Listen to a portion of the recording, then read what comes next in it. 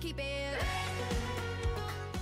It was my first music video with um, Sweety High and Warner, and it was so much fun. We got this old school like teal bus, and like at the top it said hashtag keep it lit, and um, one fun fact is it broke down. That's Really? how old it was. But the bus was kind of like my co-star. Yeah. Okay. I want to know how did the bus break down, and then were you freaking out? It's, I mean, just, it's just, just it stopped was, running. It was just point? so old, and like we were driving, and then we just pulled over and stopped, and like, just happened.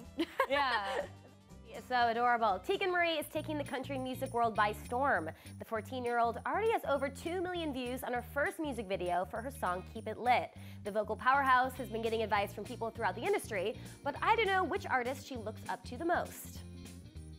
I love Kelsea Ballerini. She is like my sister. I've performed with her a couple times, so I just look up to her. And I think like all all the country artists, um, just because they're older than me, then and they know like how to do all these things. So I'm just like looking up at like all their performances and I watch them and how they perform. So yeah. So you two have performed together, you and Kelsea. Yes.